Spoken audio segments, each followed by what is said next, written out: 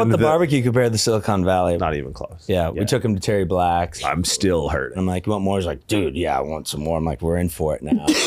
There's a point of no return. I think I had something of a gallbladder attack last Yeah. Like I, if, I, You had GoFundMe? the GoFundMe's for more Terry Blacks after my surgery. Yeah. That's what it's on. Surgery's fine. I live from Canada, free healthcare, but we don't have free barbecue.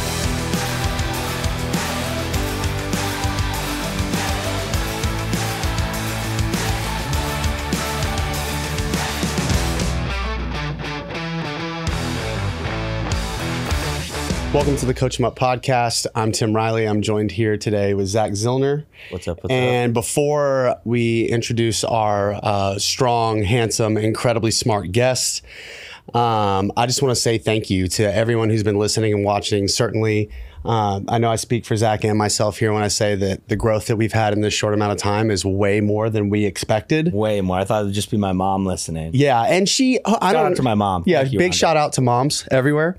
Um, but uh, what we've also noticed is that so many of you are listening, and not a lot of you are subscribing, and that that makes us very That sad. keeps me up at night. That does, and our moms. So don't do this to our mothers. Don't do it to us.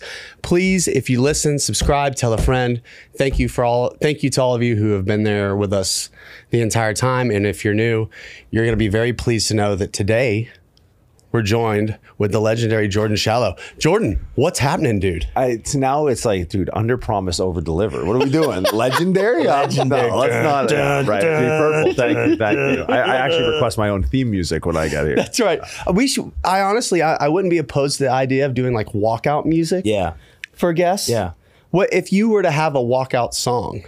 Ain't no sunshine, Bill Withers. Fuck. Done. Ready You see how quick that was? Dude, I've been waiting for someone to ask me that question. I've been waiting to be good enough at something to have like that was the song came first. You know what it was? It was um, Anderson Silva came out in a fight way way back when the UFCs were running like once a quarter, Yeah. not this like every weekend shit. Yeah. and he came out, and it was at a time where I think his English was still pretty not what it is now, and which is still not great. Like it's, not, Right. it's not his first language.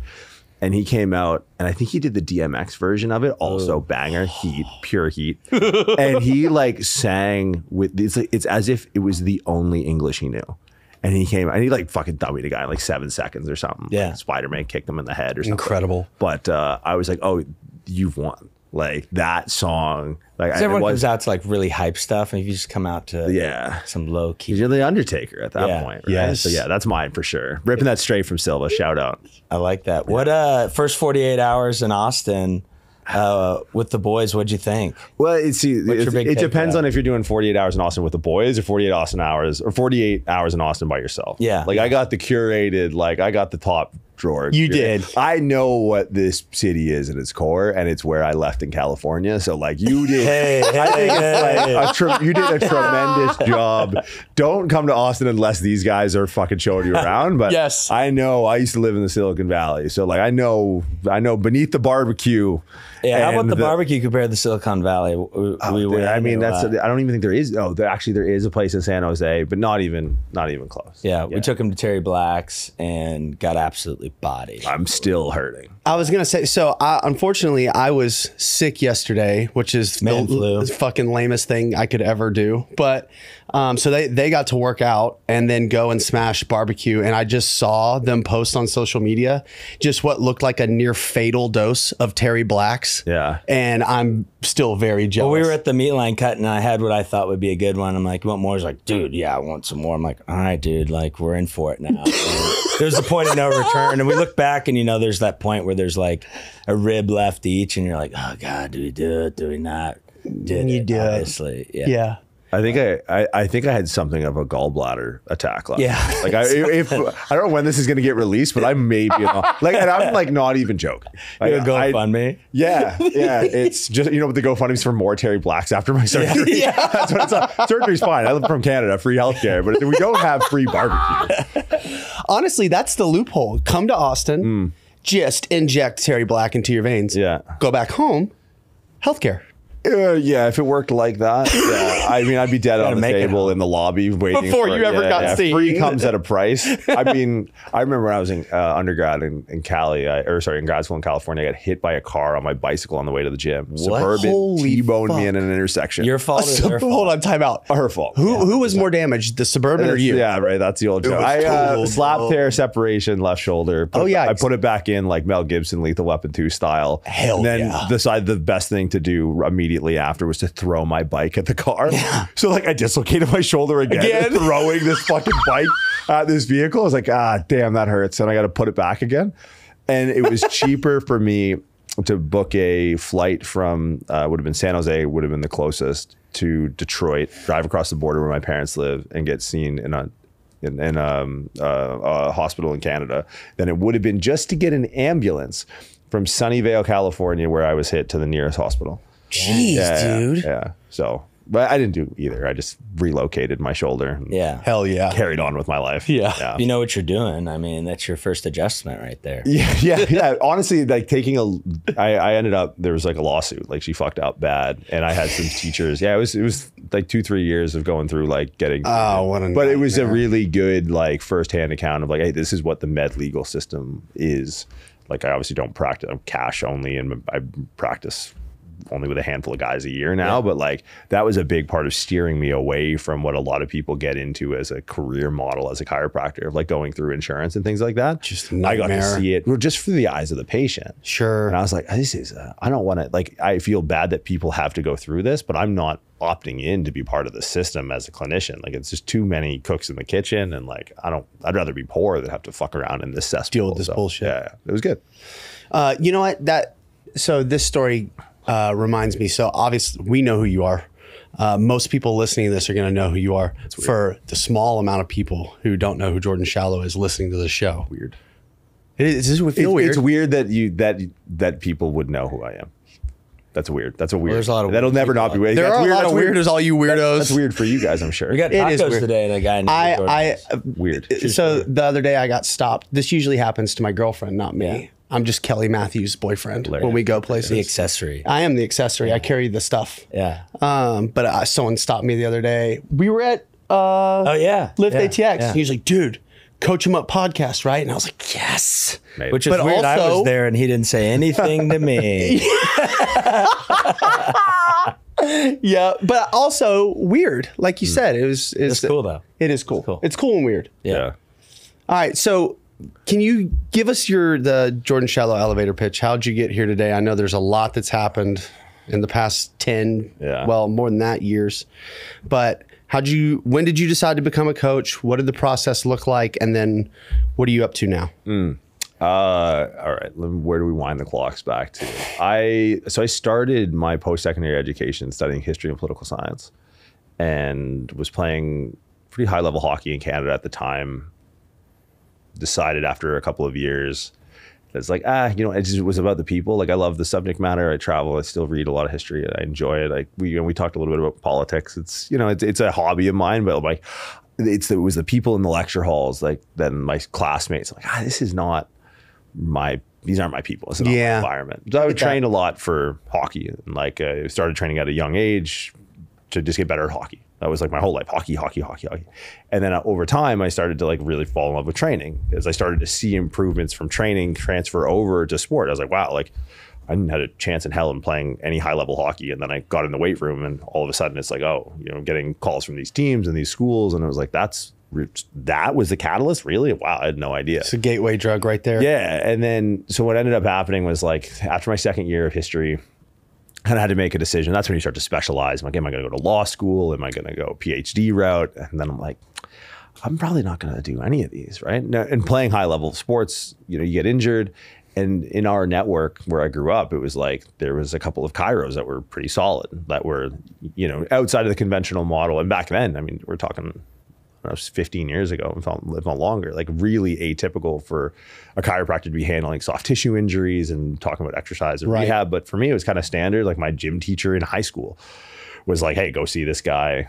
He's great. He he ran." So that was your first exposure with someone who was more multifaceted. Oh yeah, yeah, yeah, yeah. Um, and so I would go. I went to see him, and like I just so that's what I thought the standard really was. I didn't really know what the stereotypes were, and it's a little bit different in Canada, I think, or at least it was back then. It was maybe more the norm in there in in Canada than in the states. And then at the time, I was a personal trainer, and there was a couple of chiropractors who got personal trainers. Like one of my buddies trained. Uh, this chiropractor was pretty well known, super friendly guy. Drove a Range Rover. I'm like, ah, he, but he kind of works like I do, right? Like he sees people in like a one to one setting. Like they like to see him. They pay him more money, and he drives a Range Rover. I was like, oh, well, I like personal training. Key takeaway: Range Rover. Range Rover, yeah, Yeah, which yeah. was like a big full circle moment. With Now I have one in my garage, and it's just like, but it's so it comes kind of like these these touch points early of like, hmm, I'm studying history, poli sci.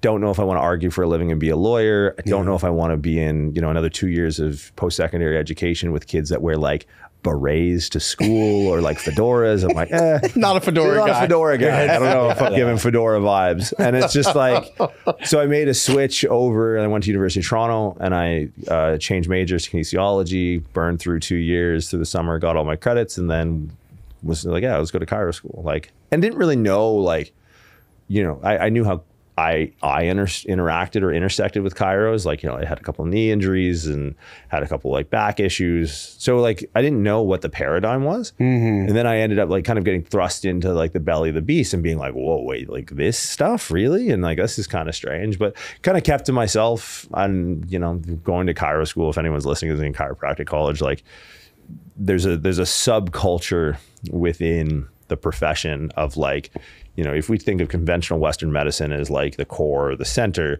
you can start looking at ancillary sort of like more hands-on therapies or alternative therapy like and you can put physical therapy as like the adjacent left and then chiro adjacent to that. And then you can kind of get into like osteopathy and all that kind of floats around there. And then you get into naturopaths but there's that line goes into like crystals and some weird shit right? Yes. and you're like okay so this is sort of where everyone agrees and whether or not it's they should or not ev- the, the consensus is western medicine md cool. Right. dpt yeah you're gonna get a look. You're not gonna get jokes made chiro, like yeah you're probably gonna be the butt of like a handful of jokes. Osteos can be lumped in there but they can kind of go close to the md route in the states. But you're like you're on the horizon. Like you can either go to pride rock or you can go to the elephant graveyard. People are mm-hmm. like oh crystals from elephant graveyard. Yeah, and i'm yeah. like yo and in school it's nuts because it's like you know you're it's it's like you're vying for resources right? Like there's 30 40 of us in a class like we're all kind of cordial. It's another four years in school. We're kind of in the same room in our same space but like you know how do you rank order and it gets like really competitive Mm-hmm. and you know people are like doing seminars and like not telling other people what they're doing oh i'm gonna like visit my mom this week i saw you at that fucking seminar I dude. saw you there, Don't you even- son of a bitch, you lying son of a bitch. they like change their email signature to some like weird initial for something they took. I'm like, what the fuck is that? And I was just like, I don't know, dude. I just want to train. So Right. I went to nothing. Like I, I went to school. I got my grades good. And I mean, you got to pass every class with 70%. I played pool with my now business partner and best friend who was, I like that he played, he was big into the CrossFit scene. Like he just loved to train. Mm-hmm. And I never did any of that. And um, I just I just worked out, never went to seminars, never I studied enough as I had to, but I never Jokes missed a- on them. It seemed to work out. yeah, and I never I never missed a lift, and he was the same. And like we weren't super tight during school, and then when we graduated, you know, I had just kept up my lifting. He had kept up his lifting. Everyone else kind of got lost in the sauce of like, you know, trying to be like the smartest, and it's like. You know, it really just came down to it's, you know, I said this the other day on a podcast. It's like there's a difference. The tactics you use to win arguments are not the tactics you use to solve problems and it seems like a lot of the the ancillary education was tactics to win arguments because people love to be contentious with chiropractors. It's like I don't want to fucking and all of that off. I don't want to do with any of that. But if I have the tactics to solve problems, then I'll get by by my merit. So um, I got into lifting weights, and then it's dude, it's a, if I pull on every single string that got me here, like. I started an Instagram account in my second year, and then just happened to when I was training, there was this pro bodybuilder that was like writing for bodybuilding.com when like that was a thing and was like sponsored by Cellucor. And I like kind of bullied him one day and was like, "Yo, dog, like, are you done with that? like, I'm working in." And he's like, "Yo, I fuck with this guy. Like, no one's ever fucking come up to No me. one's ever like, said no one's big dog me like that." And then we ended up training together. And then I wrote for him uh, in his website. And then I started uh, working at Apple. And then I worked at Stanford. And then I graduated. And I kept working for those places. And then I started one practice. And then I started another practice. And then I started a podcast. And me and my business partner started the business. And then, yeah, that's then that was eight years ago. And it's kind of just been like airplanes and podcasts and athletes and countries and lounges and hotels. And Yeah, how many kind of been flights have you been on this year? to, to when I fly back to Toronto this morning or this afternoon, it'll be flight 50 on the year.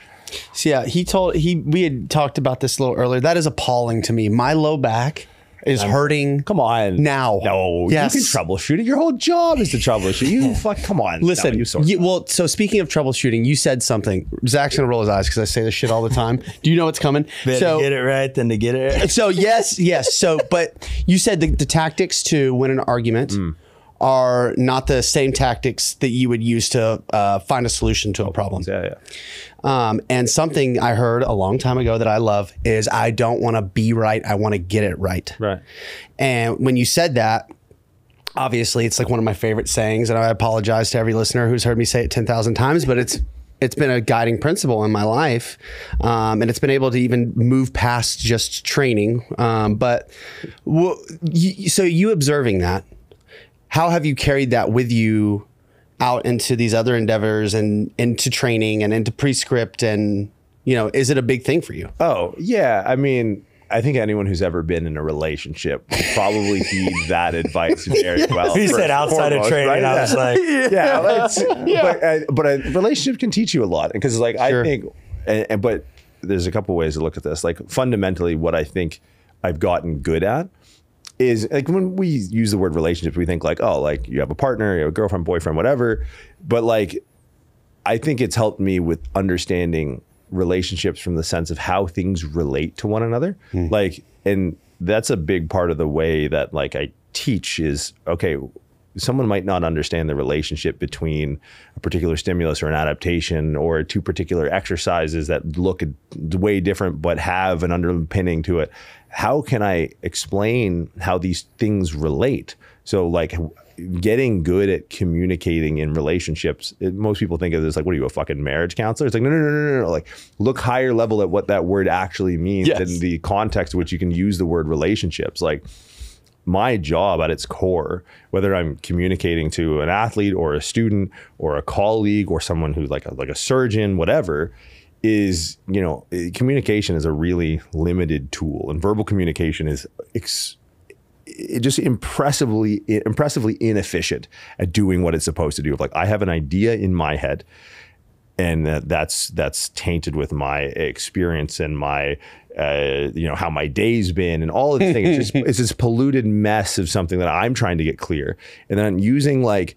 I don't know, 26 letters, a couple of phonemes, some words in a sentence. A few and uhs for me. yeah. right but yeah, sometimes that works right Yeah, but in, in- and then i need to you know upload this to my or download this to my mouth hole Mm-hmm. throw it at your ear hole and upload it into your brain and hope to yeah pray to everything holy that i get that right and it's like fuck so it's like, all right, where can I find concepts that are more universal that kind of say what I need to say without saying it? And I can attach my ideas to these relationships so people can decode and unzip almost like a compressed folder with large files. And that's what we're trying to do, right? Like, the other thing is you have to do it expediently. right? Yeah. I have to do this fast, right? The amount I can compute, the amount of compute I can use, or the amount of space I can use in words per minute, I can talk really fast, but I'm probably going to be inefficient at communicating what I need to. So, how can I use? We talked about this earlier. Like, how can I use stories? Like, how can I use these things that are more universal and just sort of like use those as use those stories or relationships as vectors to carry my point across on this thing. So it's some it, it's the it to answer your original question, it is like the basis of everything I do is understanding relationships. And it's like it can be hard in the social media space. I see a lot of people tripping themselves up and like I'm still human, like I want to argue with people, but like, you know, you said um, how did you word it? You said um, um, be right versus get it right. Yes. Right. So, and, and that's you know, I first learned that in relationships. It's like you can you can you can be right in a relationship and still be sleeping on the fucking couch. Yeah, exactly. Right. And it's like Yeah. I know a lot of really smart guys who don't get it right. Yeah. And what it's taught me above all else is like that principle is like first and foremost, whatever business you're in, you're in the people business. Right? Yeah. As much as like, you know, I talk about applied biomechanics and functional anatomy and and injury risk prevention, and return to play protocols, and all of those things that can have like a body of evidence, both empirically and anecdotally, and, and I can tap in on all these, and I've, I've done a lot in my career. I think as much as I could have done, anyways. Uh, but if I don't have, you don't have the people side, you're fucked Yeah. right? So it's like It don't mean shit. You, got to pay attention to the thing that actually matters, right? And I think a lot of times, I know guys who want to be right and are right, empirically right, just be so wrong, get it so wrong, Yeah. use your language, and it's like, right. look, you can. Like you can be good or be good at it, right? And it's like if being good at it, like getting it right, is getting it communicated effectively. So it's like people spend all their time trying to be right and on like you know like oh wow that was like a hot take or like and most, people, Right. or most people are just contrarian most people go like this guy's doing it this way i'm gonna do it this way and and It's like, ooh, yeah ah. edgy and it's like you know who doesn't give a fuck like literally everyone who pays me money to do my job Yeah. Everyone who's getting results. yeah, yeah. Right, right, yeah. right. So right. that's and for me, it's been and it's tough. Like you know, I I think a large part of it comes with doing it for a long time and getting like a kind of exposure to some negativity, but also like when you when you realize like look you know what you like what you eat doesn't make me shit. I don't give a fuck, right? And, Right. Like, it, once you have some security, once you've actually got results, you're like, oh, Yeah. okay, like I don't, I don't care, or like, what are you doing that for? And like, I, Ricky, it's funny. We were talking about stand up comedy before, and Ricky Gervais has this bit about like not understanding arguments on the internet. Like if you were walking through a park and you saw some paper ta taped to a tree with like the cutouts on the bottom with a number and it says free guitar lessons, call below. Yeah. And like imagine calling that guy and be like, yo, free guitar lessons? Like, yeah, fuck you, man. what? Like, yeah. So it's it's I mean, it's it's the cornerstone. Like we're in the people business and people focus on and we'll talk principles, I'm sure. Maybe not. Maybe we'll just talk about fucking life shit or whatever. Barbecue, Terry Black. Hey, that's yeah, wheelhouse. atherosclerosis. a good, a, a mixture of all is We're kind of the Renaissance. How, potion we're how going have you for. navigated that with like social media? Like when you first started,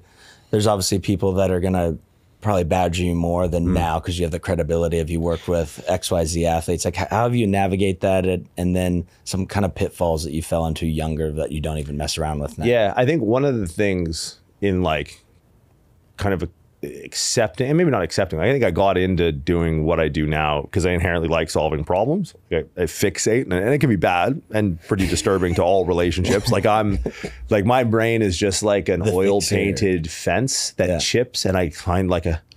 Like I find like a piece and I pull on it like oh, so it's like you know it, when it's fundamentally like a problem I need to solve, right? It, it- like that's kind of how I frame everything, but that's the solution to solving problems when that becomes how you approach everything is like there's an obstacle to this how do i overcome the obstacle? And it's very devoid of emotion. When i'm like it- it's when i was a kid i used to really love knots like i used to see if someone had a knot like in like a hoodie or something i'd be like oh yeah, Let me get I got it. out. jimmy because it's like it's literally just there's no no one there's no, Don't fucking touch it. right. But it's like there's no emotion in it. It's just Yeah. sort of this like you're just like unwinding this thing. So mm. for me, solving a knot is easy when you understand how it got knotted. So when solving problems, it's you actually the the hardest part about solving a problem that people don't realize, regardless of the problem, is how you frame the problem, right? And it's funny because like I don't know, I I I like. I like occupying my brain with things I don't understand as a bit of a vacation from doing something that I have to hyper understand. So I'll like read and listen to a lot of stuff about like like physics and AI and and uh, just things I don't understand, black holes or space time. And one of the things that they'll talk about with like developing AI, like literally building robots, is like oh like f- actually like framing the world. It's a it's literally called the framing problem. And they hmm. don't know how to you know there's reasons there's not robots walking around that look like us is because we do a, an exceptional job of framing our environment appropriately like how to understand what it is we're looking at. Like vision is and that's a whole that's more of a training concept but like when I look at solving a problem, I have to frame it appropriately first, right? So like that's kind of how i approach it is like, well, what is the problem I'm trying to solve, right? So framing it appropriately. So what I did to, to maybe get back on track of your question is, you know, I was a competitive powerlifter when I started my social media, and I trained at the arguably the strongest gym in the world. Like my first patient in clinical practice was this guy named Dan Green. Dan is Oh Yeah, shit! yeah. oh my god, you just took me back, yeah, dude. Old yeah, school. dude. Whoa. Yeah, I remember like adding Dan on Facebook. Yeah. and like Hell just like yeah. orange fucking like you know the, and beanie hat and like no shirt on. Just I'm like, what is this human being? And then serendipitously through the gym I just worked out at, rather than going to fucking conferences and shit. There's this guy who would squat, a super heavyweight guy who would like spend do his squat days at this gym. His name is Bill Newman. Got to know him really well. I was like, yo, homeboy can fucking move. And like we got became friends, told him what I was doing. He would do some of his heavier lifts with Dan, got connected with Dan through Bill.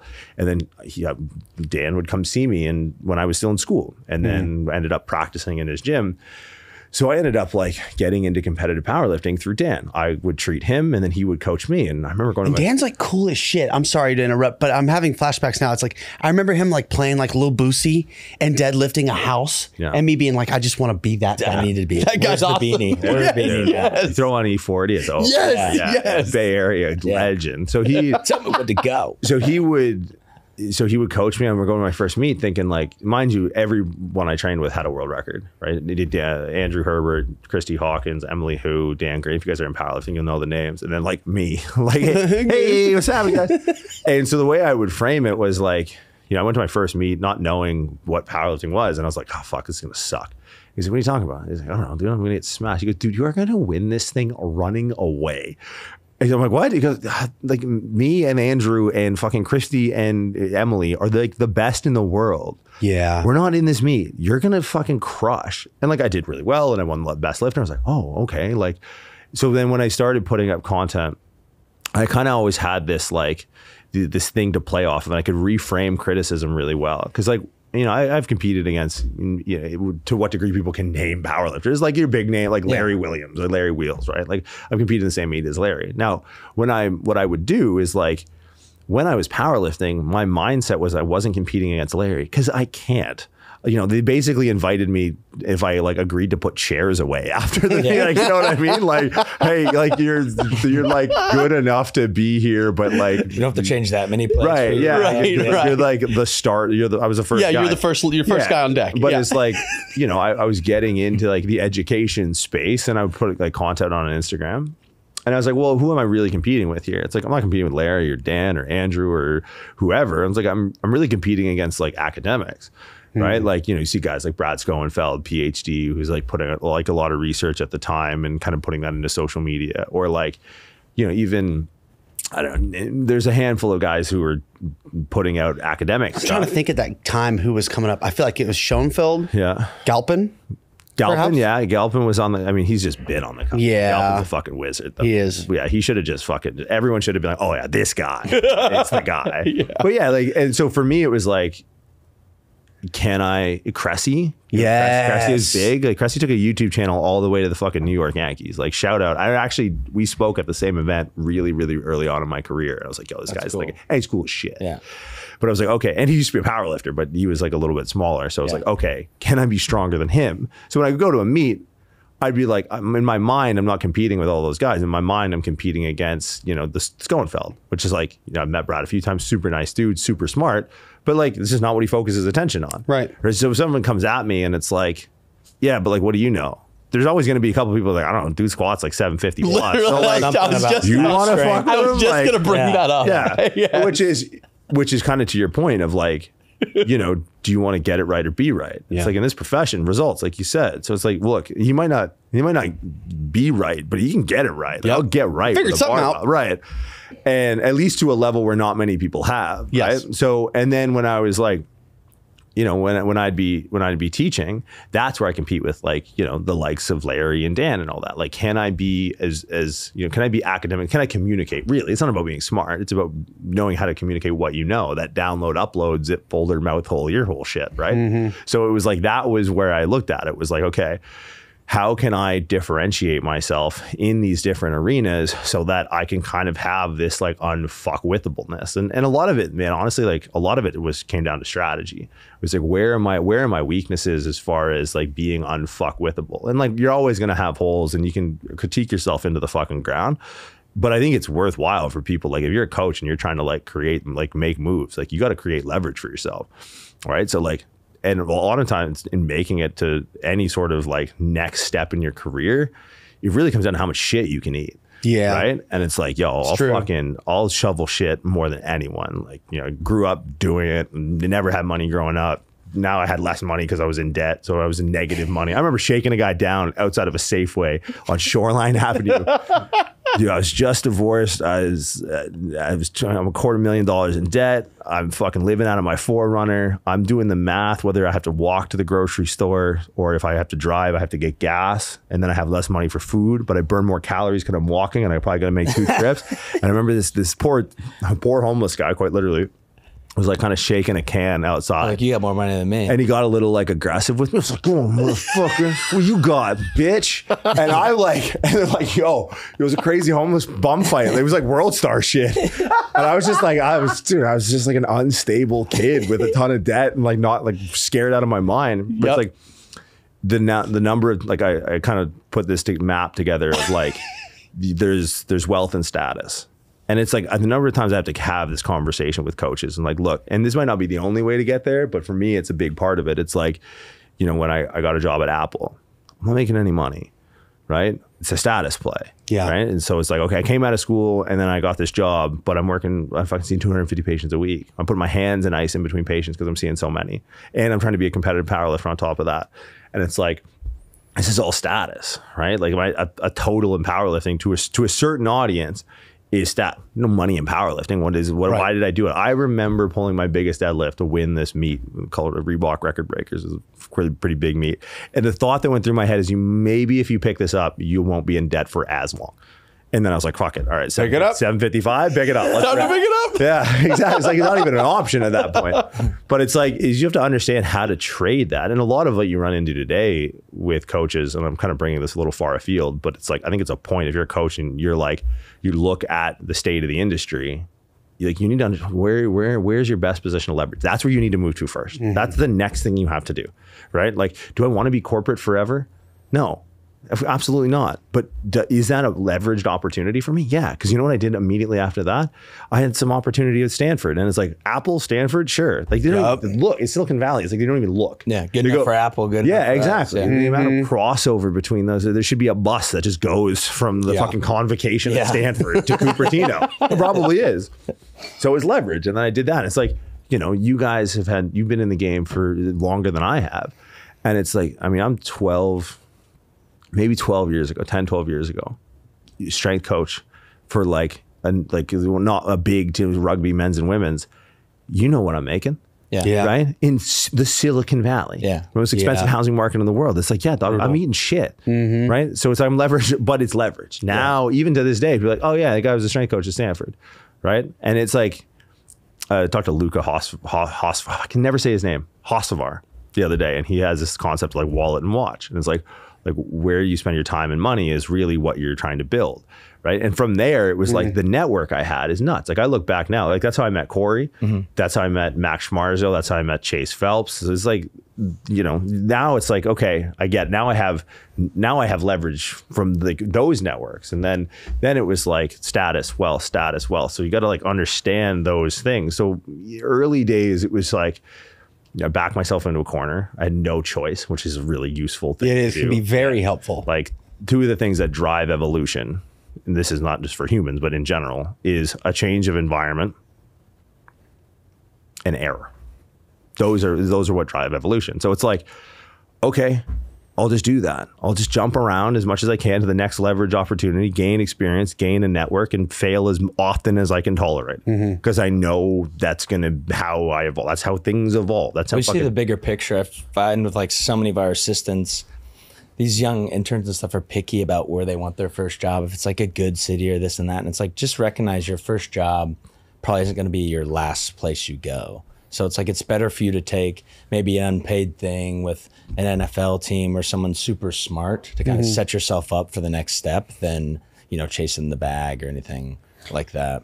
Coach 'em Up is proud to be sponsored by Plyomat. Plyomat is a jump mat that measures ground contact times, vertical jump height, and reactive strength index. Plyomat's trusted by over 750 coaches in 25 different countries. It's something that you can use in training day in and day out to give immediate feedback and drive output and intent. Plyomat's always in stock. When you order your Plyomat, you can get it within one to three business days and start your training immediately. If you get a group of athletes challenging each other to jump higher, get off the ground quicker, it transforms that workout into a highly competitive, highly potent stimulus. If you would like access to the best jump mat on the planet, use Coach 'em Up 5 to get 5% off at checkout. Again, code CoachEmUp5 for 5% off. Come jump with us, get a Plyomat. The Coach 'em Up podcast is sponsored by Squat Wedgies. Tim, what are squat wedgies? Squat wedgies are an adjustable squat wedge, 7, 13, and 20 degrees. It's big enough to elevate your whole foot and not just your heel. Because it's rubber, it doesn't slide on surfaces. It's 22 pounds, so it's durable and stable enough for even your biggest athletes. There's a 90 day risk free trial. The shipping is free and Get 15% off squat wedgies with our discount code CoachEmUp15. Coach 'em Up 15 for 15% off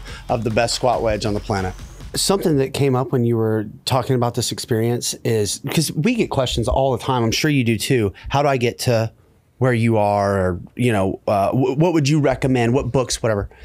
And um, you talked about leveraging like the difference between like status and wealth. But I think what happens a lot of time is people can like see that playbook um, or at least conceptually grasp that like I should like th- this is a potential path. But there's there's like this barrier to entry for taking action or a barrier I should say where it's like there's something that seems to hold a lot of people back. And I I don't know if it's just the fear of failure or the fear of it not going the way they think it should. And in my mind I, it comes down to two things. It's like it, it's it's or really one it's just the fear of the unknown. Mm. Not really knowing how it's if it's going to work mm. how it'll work you know all that. So can, did you experience any of that jordan no, no, because I think it's I I don't think it's the fear of the unknown. I I think it's actually uh, I think there's there's whether it's conscious or subconscious. I think those people who sit on that fence, they are hyper aware. They're hyper aware of their intentions and what drives them, and they know that it's not sustainable. Like one of the things, and it and I don't want to discourage anyone from reaching out. And this is not a playbook on how to wherever I am to get to here. This is the playbook on how I got here. Yeah. And that's you gotta you have to ha- you know, like you have to aggressively back yourself. Like you have to have a f- like oh, you have to have a fuck you in the back of your head to literally and look i've gotten in so much trouble with that. But at the same time it's like i know that i'm willing to back it up yeah. to the death. And like what, and it, honestly, what I mean by that is simply is like the leverage opportunities I put myself in. I I'm framing the scenario in a place where I know I can win. And it's the nice part about, and what I mean by this is like every relationship that I've had that's ever got me anywhere was in the gym. Because when it's all said and done, if you shut down my Instagram account tomorrow, I'm still going in for a 7 a.m. lift. I'm still, you know, well, tomorrow I'll be walking to the gym at 5:30 in the morning on King Street down. well, Gym opens at six. Like th- there's we've gotten away from that and it's like be good or be good at it. It's like look that your your your resume right? You guys are both fucking clearly like if anyone had to guess uh, on the street like well, what do you think this guy does for a living? It's like something to do with lifting weights like and there's a big but like Yeah. look that's you know that was frowned upon for like a little bit and we kind of had this like clipboard era of strength coaches which I Totally. think we still have now the clipboard's been replaced with a tripod mm-hmm. and it's like Absolutely. and it's like look and like i again it's a framing thing if i'm going to go meet with someone about a particular opportunity and i want that opportunity to be fruitful for both of us i'm going to have to give them the real me and the real me is the guy that's not going to skip training sessions for, for the better or worse. Like i probably should take more days off than i do because i'm fucking on airplanes. I don't recover worth shit.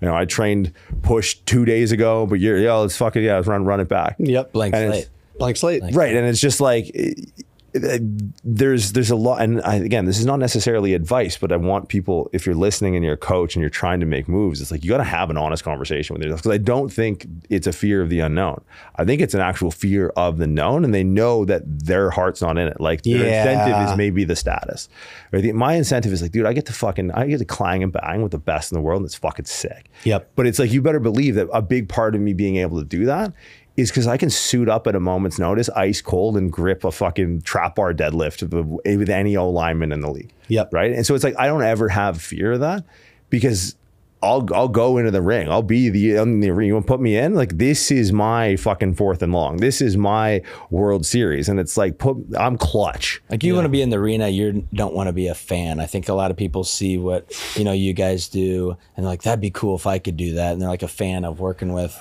whoever you're working with hmm. instead of actually being about the X's and O's of. The You- I I think furthermore to a fan, you don't want to be a commentator. Yeah. It's a commentator culture. Like if you put a fucking floating head over my video and you have something to say, dog, I'll show you a floating head. Listen, can I go on a rant with you? I Rant and rave. there is a there's a a movement I've seen, particularly within the context of social media, where people don't even make their own content anymore.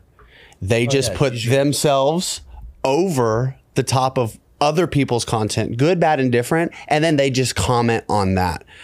Oftentimes, people who don't have any perceivable uh, level of expertise or experience, and that is their means of growing their platform.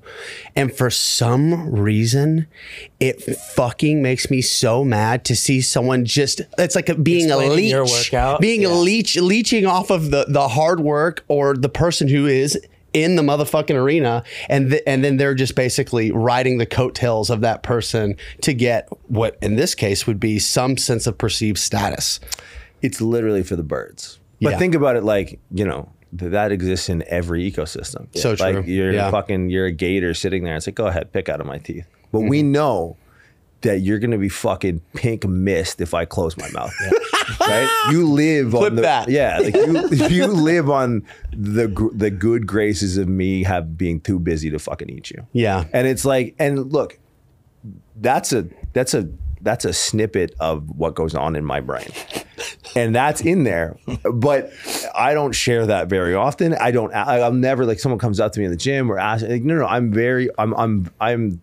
I will be as gracious with my time as I can because I got here largely to the graces on the graces of other people being generous with their time. Yep. And I will pay that forward into infinity but like I and so I don't want you to take this and be like on some Goggin shit. Like, dude, I'll I'll I, I cry probably four or five times a week It's like, what is my life? Like, I get to come hang out with you guys. Oh, I'm so full from barbecue. I'm gonna cry now. but it's like, uh, so I'm not trying to be on some tough guy shit. Like, I'm Yeah. so you know, I went from sleeping in a car eight years ago in an airport parking lot to fucking Sleeping we- on airplanes. sleeping on airplanes. Yeah, like, and it's so like I I'm, I don't want to impart this like tough guy culture. I Sure, just, sure. I just want to impart people to be self critical and to there's a voice in there that goes like when I walk into an interview or you know if I'm consulting with a team or I'm talking to a player, like you got because they know. Mm-hmm. Like what I love. I mean, I, lo- I love animals. I've used a few animal references. Like, you know, we loves basically, yeah. Well, because what I like about animals, I went on a safari in Africa. Oh, fuck yes. ago. unbelievable. So I went to like the the Tanzania, uh, Tanzania, Tanzania, Kenya border during the Great Migration. Oh. And what I what I kind of like had this moment of was and I kind of like a click moment was, you know, everyone says that like oh animals have instincts. It's like no no no no no. Animals don't have instincts. Animals are instincts, hmm. right? Like they just they are purely what they They're are. not- we have instincts like a mother you know i would say women have a crazier instincts just because they still have that very primal child where, where, Yeah. where it's like you know i could probably be like oh this guy's probably going to pop off in a gas station on you know third and pike in seattle Yeah. some trash neighborhood like i'm just going to get the fuck out of here before this guy does what he's going to do but like i'm not reading minds here like guy's Yeah. got three teeth and a fucking ice Yeah. pick in his hand get right? You know yeah, I mean? I know what happens next. But it's like when what I've loved about working with athletes is like, you know, the, the, the adage of like, oh, this guy's a dog. Like, what does that mean? It's like, a lot of times it means just like they are instinct or they have, they're, they're far more to the instinctive spectrum than a human beings can actually give credit for. Like they're what you can call game IQ or just like high res or like high velocity pattern recognition. It's like, one of the things they, they these guys just smell blood in the water, right? That's their job. Like Yep. of these dudes that are just like tuned to take someone's fucking head off, like they are trained to find holes. They are trained to find weakness. They are trained, and it's like you don't think that they know that, or consciously or subconsciously can do that with personalities. Like if you sit down in a room and you don't like, if I can't ex- explain something down to the level, I've had this. You know, I worked with a uh, pretty prominent American stand-up comedian a few years ago, and like he just hit me up in the DM in Miami. It was really kind of funny interaction, and he's like selling out stadiums. And he's like, yo, let's train. Like, literally DM me and be like, yo, dog, let's train. I was like, yeah, bet. Like, let's do fucking eight o'clock on Monday here. He goes, done. Shows up and he's like, well, how's this going to work? And I could sit with him. I'm like, dude, this ain't, this ain't fucking mothership, right? This ain't, Yeah. this ain't, you know, the cellar. This is, this is my cellar, right? This is my fucking. Air Canada Center. Fucking, this is my stadium. And so it's like, he goes, and I've had this happen so often. I'm like, well, like you tell me the level of detail that you want me to explain things to, and we'll go there. And sometimes he's like, dude, I'll just let you run sometimes. And he goes, I don't, I don't know what you're saying. Fair play, you're a fucking stand-up comedian. Right. But I, I can recognize laterally what you're doing and how I approach. Like this dude used to, you know, this dude would wait, stay up till four in the morning practicing walking out on stage right? Damn. And it's like you know how many times I've stayed up till four thirty in the morning, you know, writing or reading or or or treating athletes or whatever. And it's just like eh, he goes, I, I don't really know what you do, but I, I understand how you do it, right? Like I understand the depth and detail without understanding like the the finer points to it. So it's like I think that that trepidation, like the idea of imposter syndrome, is like you got to go back in the lab and you got to you got to outwork that like you got to sit because if you don't and you want to sit down with some of these guys like you, you might you might fool some people some of the time but you're not going to fool all the people all the time right No. and it's like if you're what are your priorities like what do you value like to me bring it all right i want to watch you train I want to watch you train. And it's like if you're if you're willing to fucking bring it to an inch of your life, like all right, I want to fucking I fuck with this guy. This Yeah. guy's straight and and that that's where I think honestly where a lot of trepidation comes from is pipe cleaner arm strength coaches that hide behind clipboards that are trying to be right rather than get it right. And it comes down to unfortunately, and we've come full circle, at least in my brain, of like, look, you got to be able to fucking hang because Yeah. it's the people business, and those people want people next to him that'll fucking go to war. And, and again, I don't love the war moniker. I don't love the tough guy, but it's like, what do you love? Everyone's like, oh, like, you know, you got to want it. It's like, nah, dude, that's not it, man. Like, it's not, it's like what inspires you. And, and like, when you define the word inspire and understand like the etymology of it, it literally means like what breathes life into you. That's what inspire means. Hmm. And it's like, well, yeah, training inspires me. Like, literally, I train every day because I like, it helps me with work. It helps me with my relationships. It's like, if you don't love it, then that's cool, man. But like, don't think you're gonna listen to some fucking motivational speech and be on the other side of your problem, dog. That's gonna live rent free in there until you sort it out. Dude, if, if you're having to hype yourself up to get up every day by listening to Tony Goggins speak for 30 to 45 seconds before you even get out of bed, fuck. Yeah. You're in trouble. Yeah. Yeah. But I think, eh, you know what? A step further than that, at least those people recognize there's a problem. Yeah, True. At true least those people are Got it, yeah. grasping at something. Like, Yeah. that's a step. You know, there's people out there just angry. Like, they're Yeah. angry that they're not in the right Resentful. position. And it's like, look, I've been there. I remember, and shout out K-Star. K-Star is fucking, he- but I remember being in grad school. You know, I'm a quarter in the hole. Don't come from money. I'm like, I've made the dumbest decision of my life, fucking learning how to crack people's necks, thinking that I'm going to make this money back. What a dumb idea. And like Kelly was like, sit stand desks were just on the come up. He was like in the process of, I think, writing the, um, Supple leopard. so uh, no, it would have been after that. The second book about like standing Oh, yeah. and all that.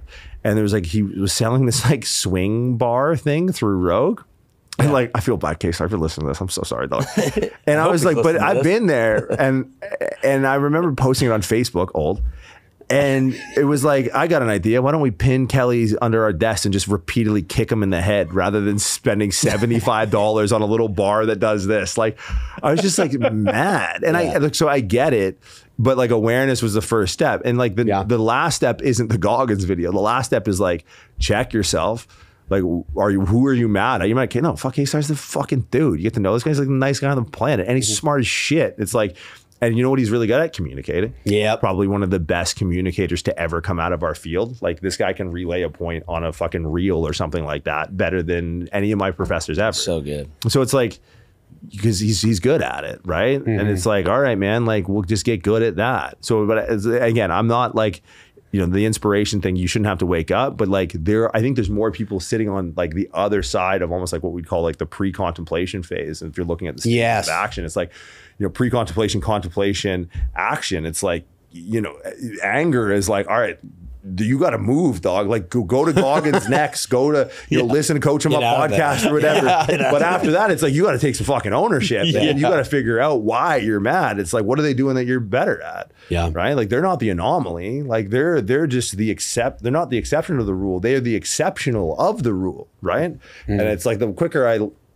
and everyone learns their own pace and timing is always perfect but like the the the sooner you can move to that step then you're going to start to be able to like you know to be productive and actually move towards your goal because like it, the, you people just you see them stuck in the cycle right and they just like you just like yeah, spit it out dog spit it out fucking like do something you know what i mean like what's wrong You know our that industry? meme? It's like the the guy with the stick. Yeah. And he's poking the. He's like, do something. Yeah. Yeah. Uh huh. yeah Do something. Were you ever stuck in that angry stage? And then if so, like how'd you get out of it? uh yeah therapy Yeah. Yeah. you know like and Big shout out to all my therapists Yeah. I've ever had Well- over the past. There's been several. Thank you The to past Tim's therapist. The Five, therapist five to seven they have. years. Yes. Yeah. to deal with the shit With, you put with on what I them, brought yeah. up, it's like God, this guy came in today. I got a four o'clock with Riley. I gotta, I gotta get out of this business. Yeah, seriously. I know it's like, and look, like, handle your business. You know what I mean? And it's like, and it, handle it in fucking private. Like, hmm. there's there's things that sh- in your life that should be sanctimonious that don't have to be on the internet, and that's how you. That's how you know you really value something. Like, you know, we walked around. UT and I was like, I saw that big cow, and I was like, oh fuck, can I take a picture of this? Yeah. But at no point, like, am I like me? I'm like, oh, let's fucking get barbecue and Ben 10. Like, I don't want to fucking. And if I'm, if someone comes into me with that bullshit, I'm like, yo, give like, what do you? And it's it's really more like, you know, I'm, I'm I feel like I'm pretty solid with where I'm at, but it's like you're you're scratching the surface of life, dude. You know what I mean? Like people who, and again, I'm sure it's not everyone, and this is not a fucking playbook of how to live your life. It's just how I've gotten here. And one of the things is recognizing like the people who are you know crying on Instagram and doing all that. It's like that's not the work.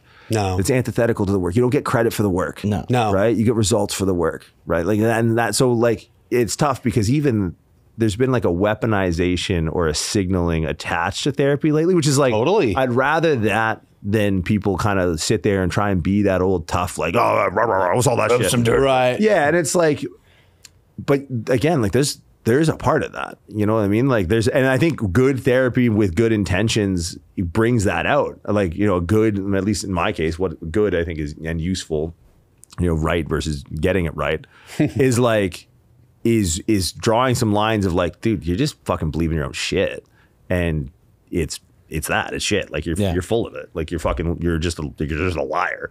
And so part of it, it was like, okay, actually, I do got to throw some dirt on it. And part of it was like, you just got to step the fuck up, dude. Like you know what I mean? Like you got you can bitch and moan about circumstance, or you can change it.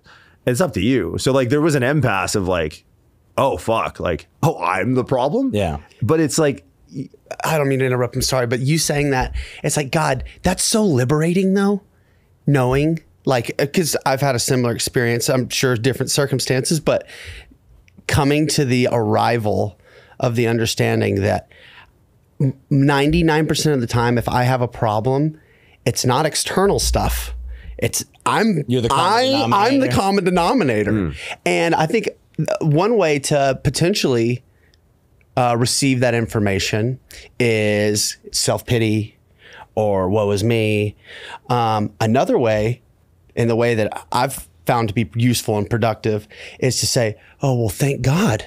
It's not all these things that are outside of my control. And th- there are plenty of those fucking things. But how I show up, my attitudes, my actions, all those things, I actually do have a lot of um, power over you know so it, it moves me it moves you from this place of like victimhood and oh this person got to where they're at just because they knew this person or xyz that place of resentment. And for at least for me in, incredibly cathartic and healing to understand it's like oh if i'm willing to accept this and i'm willing to take the actions necessary to you know not be a liar or whatever the case may be then I have a fighting chance at showing up as the person that I want to be to get to where I want to be, to rub shoulders and sit at tables like this with people I consider myself uh, to be like. Um, what a blessing. That's great news. I think you'd have to. It, it, there's no such thing as bad idea. I think it's a Sam Harris thing. It's like there's no such thing as bad ideas, just bad incentives. And I think social media offers the worst incentive, which is like you don't want adulation for doing the things you should have done in the first. place. Yeah. right? And it's like, you know, it's always like the again, Ricky that's a Ricky Gervais joke. It's like, why are we applauding people who like, you know, the recovering drug addicts? I have a lot of friends who've lost their lives from drugs, unfortunately, but I have a lot of friends who've like recovered. It's like, dog, the- the end of 12 steps, I'm not giving you a pat on the back. So what the fuck were you doing blowing that shit up your nose for that long? You know what I mean? But it's like, but I think, and you got to be careful because I, I've seen people fall into a loop of of like you know there's some sort of awareness created you know the goggins videos run dry and then like okay i'm gonna get into therapy but it's like you know dude, the meditation app in the morning on the ig story it's like you're missing it dog like because you're gonna mm. get a, a clapping emoji it's like hold on now you're getting positively incentivized for doing something that you should have done Yeah, now, and it's what- coming what- from outside of you. but it's like you get attached to that and you get dependent Mm-hmm. on that. So it's like, oh, I'm going to do more therapy to get more reward. It's like, no, no, no, that's not how. That's not why we're doing therapy. Right, You but do therapy to get out of therapy. Yeah. right. Yeah. It's, it's, so it's, you got to be careful because like it's a minefield out there. Yeah. And it's like, I, I challenge people, and it doesn't have to be like, I, I think you should f- figure out what's sanctimonious to you and create boundaries for because sharing i was thinking I, I, coming from like a, a literary background coming from like a history poli sci where you write a lot I used to my nick, nickname in in um, Jeff Nada in the sixth grade used to call me Webster because he used to roll up and just read the dictionary, and I'm, I'm not even joking. I, it was it was I was bad. the opposite of Webster. Same. So, but sharing when we were kids, right? Like when you're kids, sharing is something that your parents try and instill in you, right? They're trying to instill like share with your sister, right. and sharing is usually like sacrificial. I'm giving something up, but what I gain in giving this up, the experience I'm giving it up with, is something greater than the whole I had with the thing that I started with. Mm-hmm. When you share things on social media, it's not it's not that share with your sister shit because you're not uh, you're actually gaining. Yeah. You're gaining selfishly, right? And like I share stuff with you. We trained earlier. We got barbecue. Sure, you know that was great. It was fun, but it wasn't like every moment of the day. We talked a bunch of shit and we you know said stuff we probably shouldn't put on the internet. which hey, fucking rights. But it's like like people like look like I challenge people to like share more without being incentivized share sacrificially like find those people like and that, that's what i think a therapist offered me first was like whew I feel good. I, I, have given here. I'm giving this to you. Like, Yeah. like here, like I'm, I'm, I'm opening. I want this, but I don't want anything in return. And that's where I think a lot of people like. I just, uh, I just see the pitfalls. I see where like, you know, someone might, and the, it's hard because like I'm trying to communicate something through a vehicle of social media and podcasting is a vehicle of social media that is kind of like antithetical and, and heating warning to some of the pitfalls caused by the very thing that I'm, you know, using. I'm using it as utility to get this message across. And the message is like, yo, be careful of the utility. It's like, well, dog, like, I understand the hypocrisy in it, but like that's that's part of the landscape you have to start to navigate and like find things that are sanctimonious, find people you can actually share things with, you know, properly align your incentives with your values, and then you can start figuring your shit out. Then you move from that was that was literally my angry yo let's boot k-star in the fucking dome like yo so sorry kelly to like oh but the thing is like he's nice. the, and here's the thing I, I used to and I'll, I'll speak in less like um, sort of less from a place of proclamation and just like how what I found and this is I know this to be true now. It's like I used to think that when the money came I'd be less angry. And then the hardest part was not like it was being in debt and living in my car and fucking you know on the road every other weekend and and you know doing the fucking calorie meathead gasoline math of like how do I stay in a surplus with no money and then but it was like when I figured out there, I was like, I gotta fucking, this is a me thing. And then I like got on with my boy Nat, and I reconnect. Like, connect- he's a guy from high school actually who who went into therapy, and I connected with him, and he's like my guy. It was that was the springboard, right? People think that like you know you get there and then you change. It's like no, it's the other way around. Hmm. You got to, and it Change, sucks because you're sitting there going like oh, I'm gonna smell the roses. Are you sure? yeah. This is fucking shit, man. I'm in like It a, smells like my 4Runner. yeah, exactly. but it's like then all of a sudden, like that is what started to change scenario for me. Like that, it was the, you the the the change. Is, and it's funny because like you know I own a, I've co-founded a digital business and I, I work a lot in the digital space. We talk a lot about systems, right? Like that's what a business is. Like, are you making money while you're sleeping? No, then you, you have a service you offer people. You don't have a business.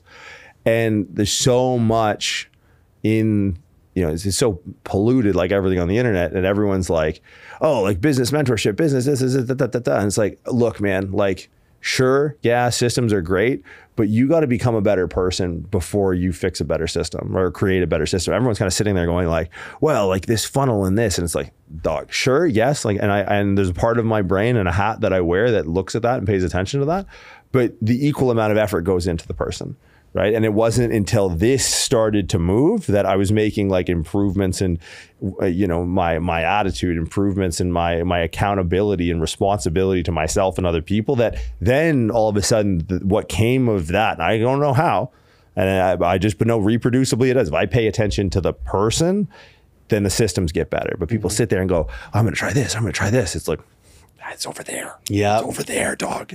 Yeah. Don't, don't ask me how that translates Yeah. but it's like fairly re- read like a couple of books that have been around for like and I'm not religious but it's like you know like Yeah. just read anything it's been around for a long time and it's like I don't like no one's translated that yet but if you focus on this the stuff that you're worried about starts to just like sort itself out It really does. yeah That's been my experience as well. It's it's uh it's almost counterintuitive in the sense where it's like you would assume that if I just try harder here, hmm. that I'll make things more better.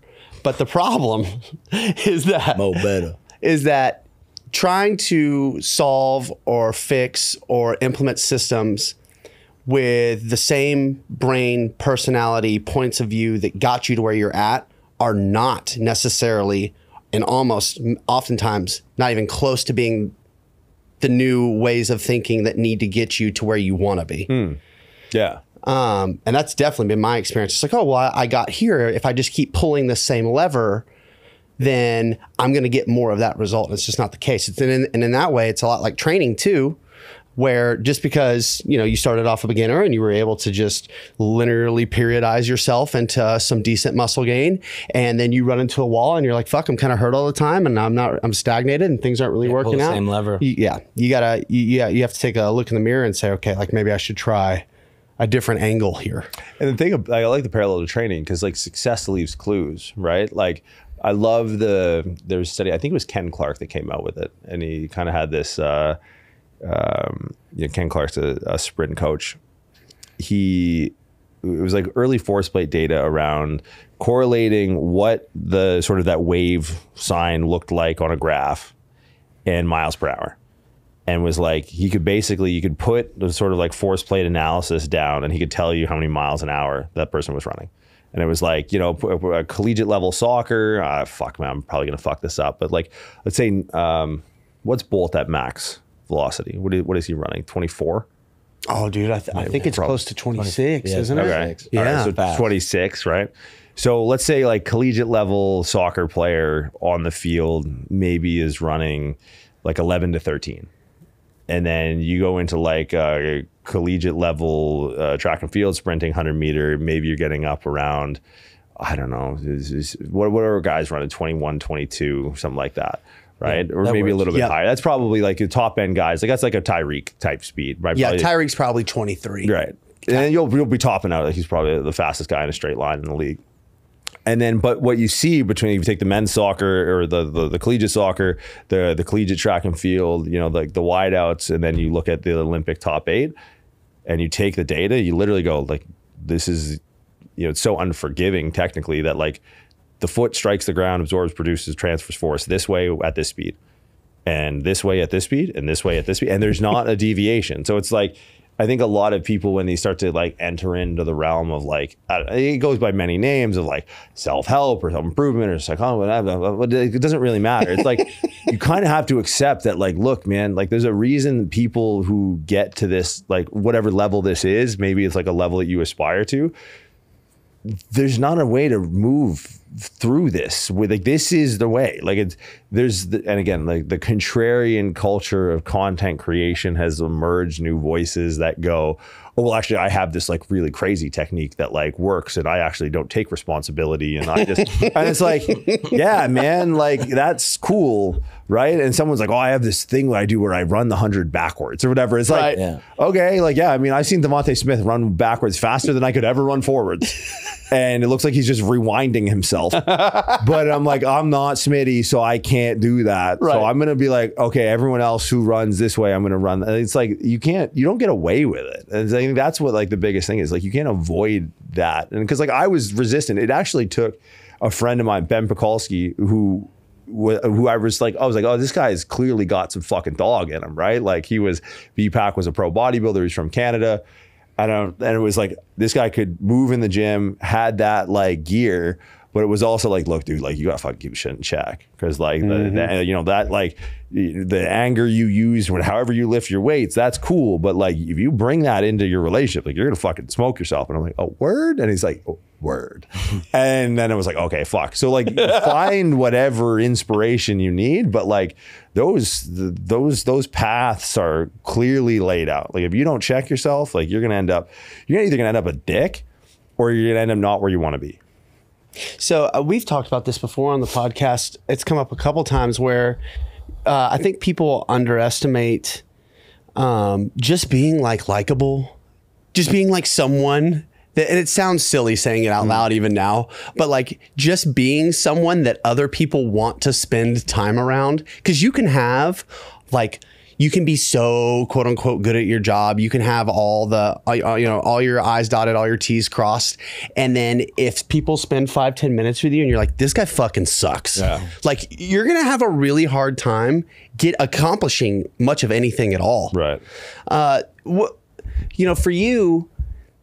'cause, dude, you've done so much in really what is a short amount of time. I mean, you know, 10, 12 years. Yeah, I'd have graduated 11 years this year. what would you attribute because you're you're someone who's it's striking to me in the sense where it's like you've obviously done a tremendous amount of work from an academic side of getting to where you're at um, and, and and and and in practice um, but then a lot of this conversation has been like you know the personal development which i wasn't even really expecting i'm Yeah. glad it went this way um, tough question, but how much would you say?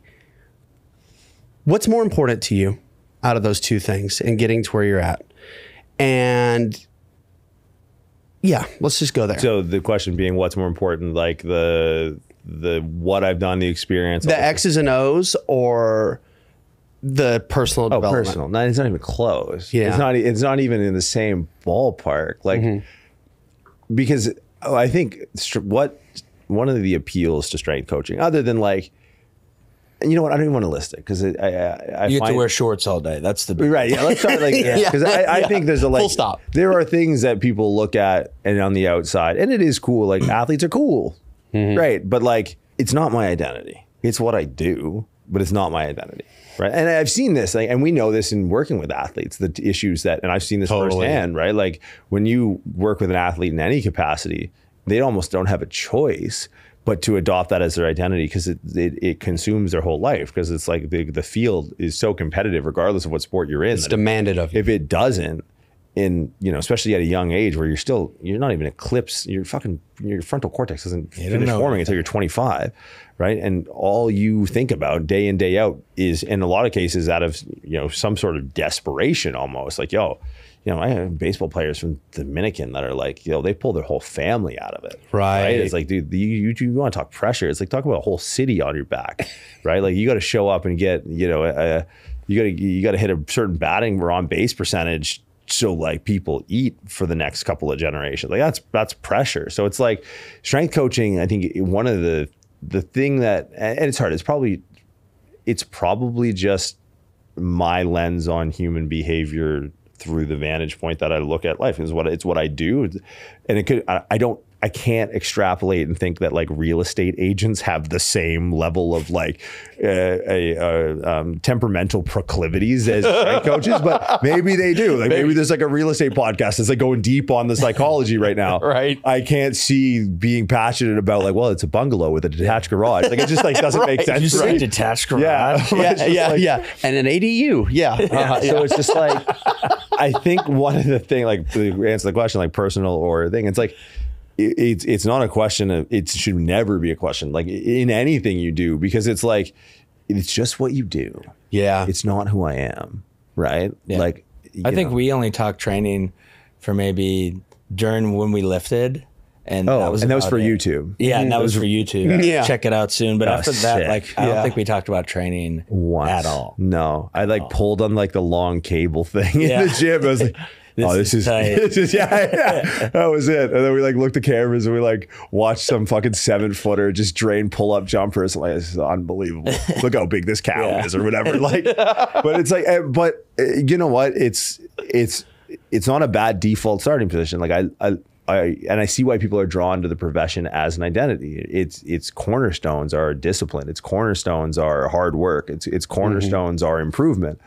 But it's like that cannot be the cornerstone of who you are, right? Because you know you're. We talked about the sort of the structure of collegiate strength and conditioning and how it should be tied to the GM. And like you know, I know strength coaches that it's funny. I, I, forget who I was talking to the other day, and I was asking them where they're from, and it's like you know sometimes you get the answer like ah military, which is like a it's a weird answer if you don't understand what people mean. Like if you never met someone in the military, you go, "Oh, where are you from?" and they go, "The military." It's like, "Where's that?" It's like, well, they're kind of saying everywhere Yeah. because, like, you know, Yeah. their dad or mom or both were like moving Yeah. around and like, yeah, I'm in fucking, I'm in San Diego or I'm in wh- wherever the military is all over, and it's just like strength coaching can be that, but it's like, and it could also be gone right? Like, uh, look, there's a day, and I'm well aware of this, where my phone's going to stop ringing, where no one in Austin's going to give a fuck about what I have to say.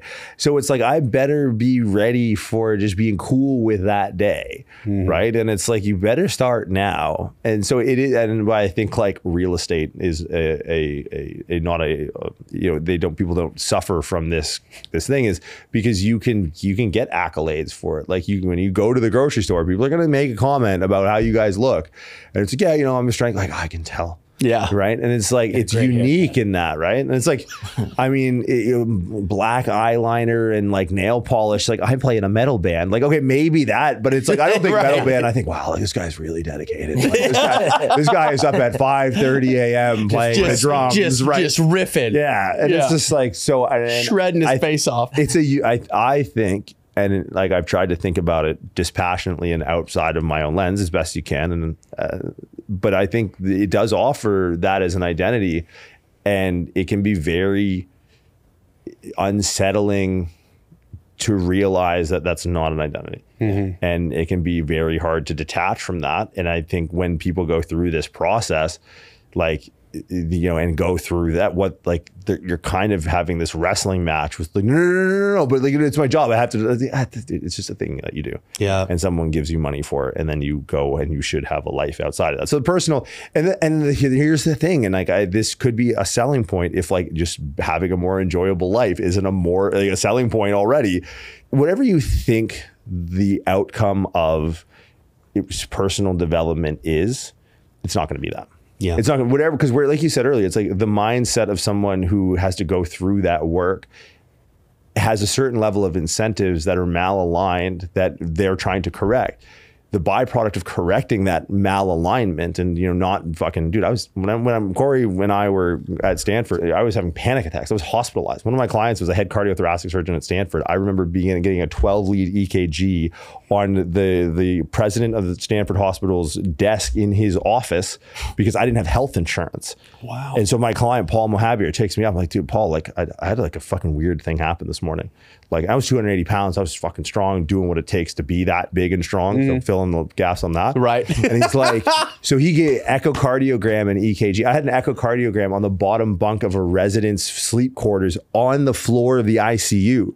So some fucking med student sleeping on the top bunk. Paul comes in with an echo and one fucking intern. I'm sitting there with my shirt off on this bottom bunk.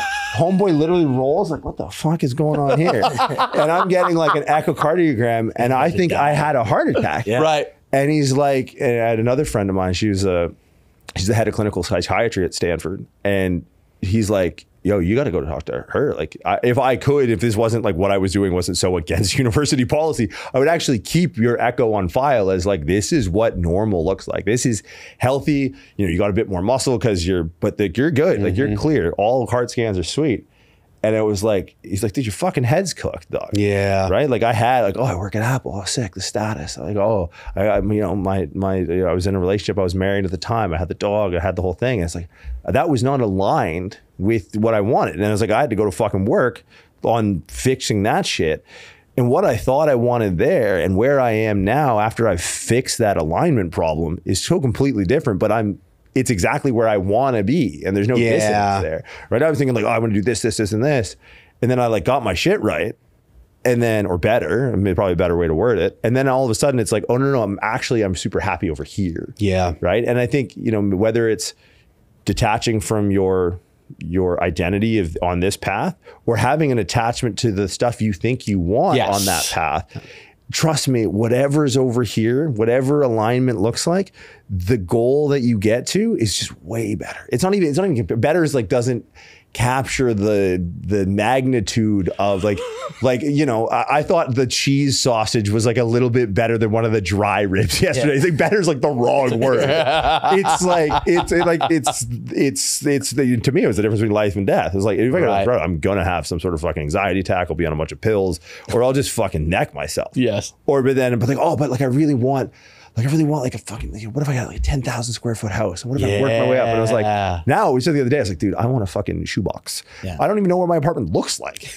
Well, oh, I don't know. I pay rent I hear it's nice but like I'm nice never closet. there yeah so it's like yeah the, the personal development. And again but like and I have to say it with an asterisk because it's like and it's not keep that shit to yourself like I don't care. You'll never find someone that cares more than me. But part of me caring is like that work has to you got to be it's going to suck like a long time. Yeah. and it's like you have to deal with that. You got to settle that debt. So like not that i don't care but it's like you sh- the way you care is keeping it sanctimonious. And like talk to your people where you can share. It's not on the fucking internet. It's not. Yeah, no it's one gets circle. it's yeah get one. And you know what? Is you make this turn you'll figure out who those people are. Yeah. and there's people in my life that aren't in my and it's and here's the biggest thing and this is what drives me nuts and this is where i get like a little bit cons- concerned it's literally just concern. And it, i'm not the fucking be all end all but when people like when people go down this path they they have such a resentment for like oh man like i used to hang out with these guys and like oh they were just holding me back. I'm like dog they were keeping you alive. No legit like there's like there is it's you're just you're running an old i ran an operating system that kept me alive in a place with minimal resources hmm. where i didn't like if my sister didn't get a full ride scholarship to university i probably didn't go because there was Yeah. money enough for my and she was way smarter than i was i was i literally told my grade 10 math teacher i was like i think i'm going to be a radio dj I have a podcast now, so that's kind of cool. Yeah. But it's like, dude, yeah, I made it. I made it Showed you, fucker. it's like, but it, so it's it's you know when you go down that path, it's like, y- y- ah, fuck. It, you have to, you have to. I'm I've completely lost my train of thought with the radio DJ. I can't believe I thought I want to be a radio DJ. It's but it's like you know you ran an operating system, Yeah. and you have to be grateful for that operating system because it like got you to a point. It kept you safe. And it's like, dude, nothing else could have done that. It's just time to like, so if you find yourself going down this road and like, you know, fuck, who the fuck am I?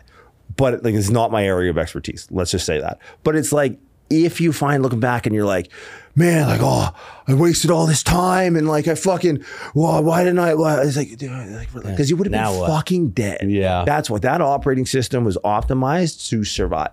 And you just, hey, uh, oh, iOS fucking 18.5. Get the download. 18.4 was bullshit. I was, what do you mean my emojis didn't make faces? Like I could talk. It's like, who gives a fuck? right? It's just like, yeah, just let it go, dog. It's cool. That was old operating system. You're still alive. Gucci. All right, new operating system. Like, be cool, man. Everything's gonna be fine. Download the new you. Yeah, yeah. yeah. And some don't do that. Don't because that's a that's a podcast now. Someone's gonna start that. Oh man.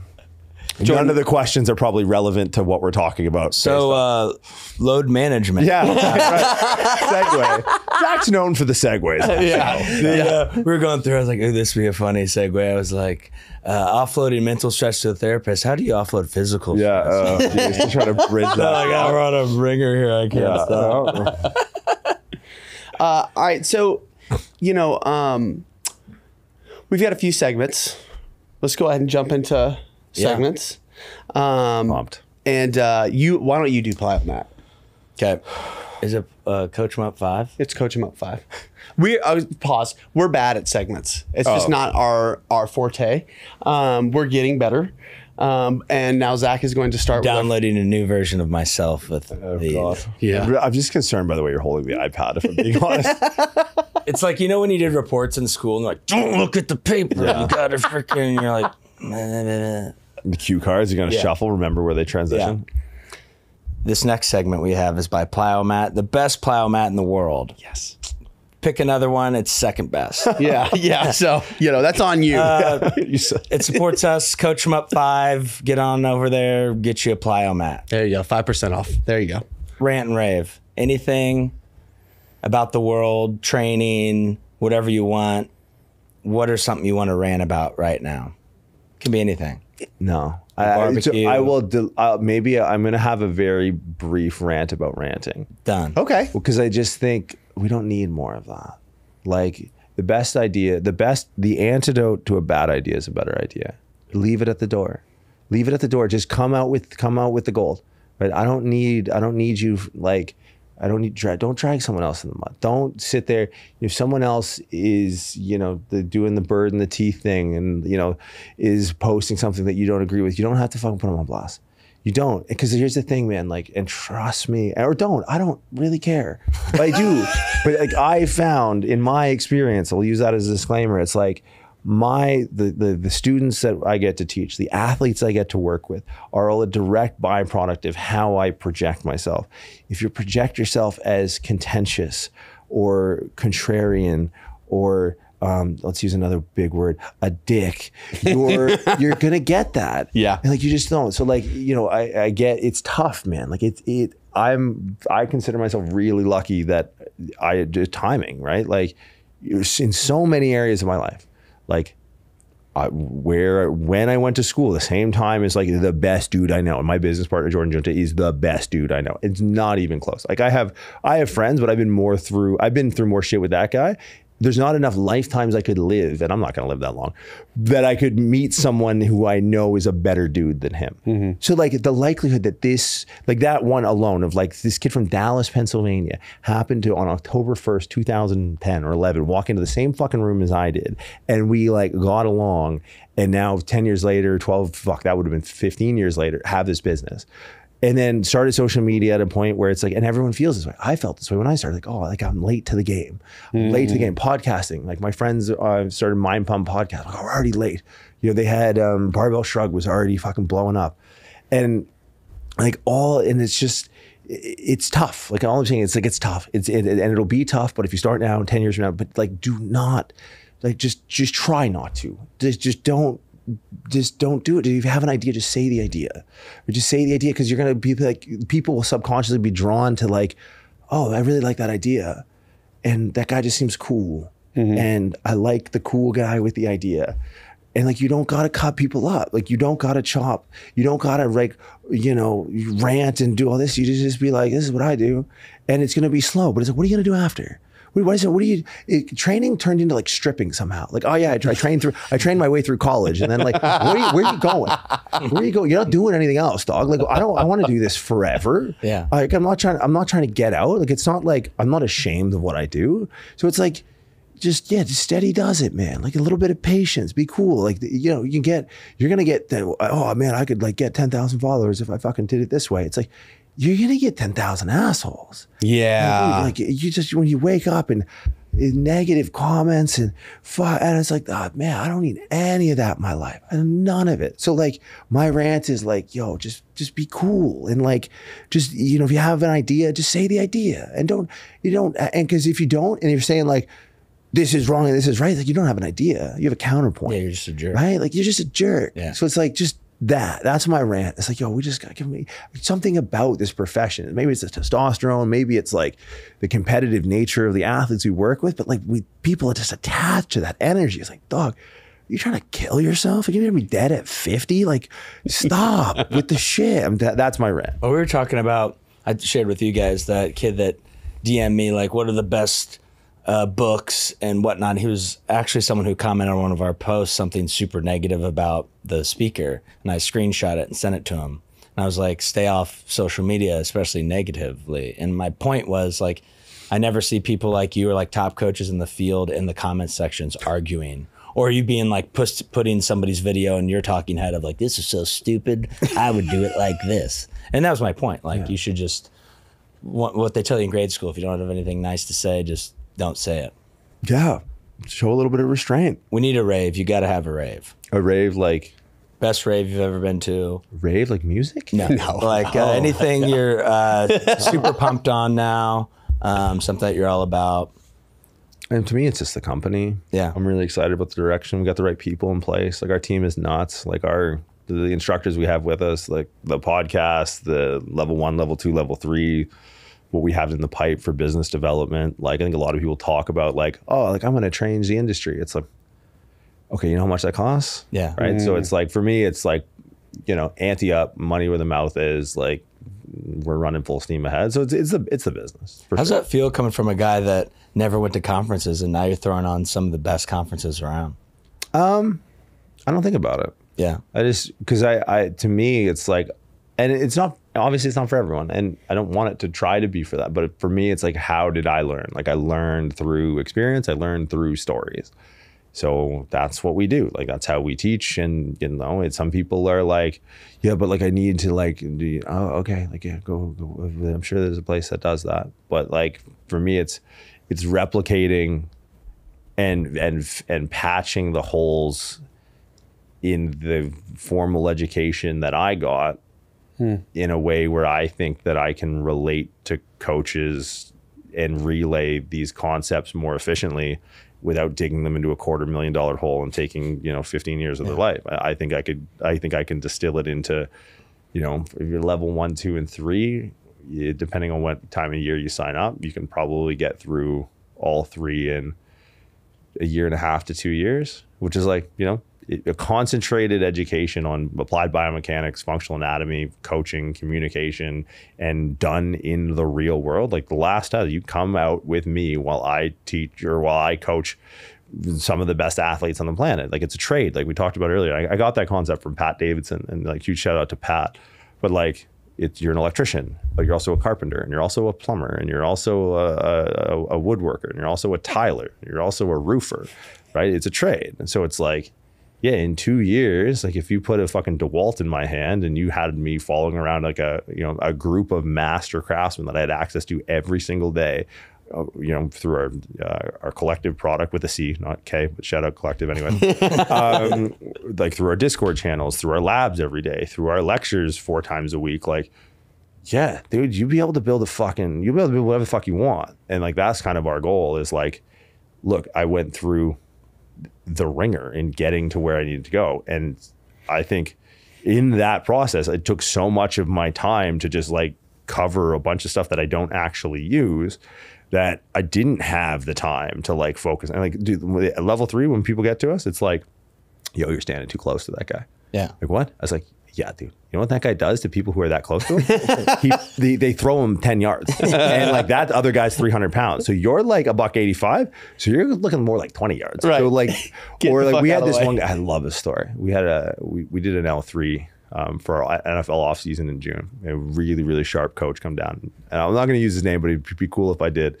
And he was, he was go like X and O guy. Like, you know, we spent two years on applied biomechanics and functional anatomy. We would go through shoulder, hip, and spine in L1. We talk about how to bridge the gap between corrective exercise and exercise correctly. Then we do a rib cage, spine, nervous system, really dig into principles of problem solving. And then L3 is like, all right, here, you guys got it. Like, you go through the tests, you go through the labs, you understand. Like, you spent hundreds and some people like I don't know. Like, I honestly think some people are in the thousands of hours with us.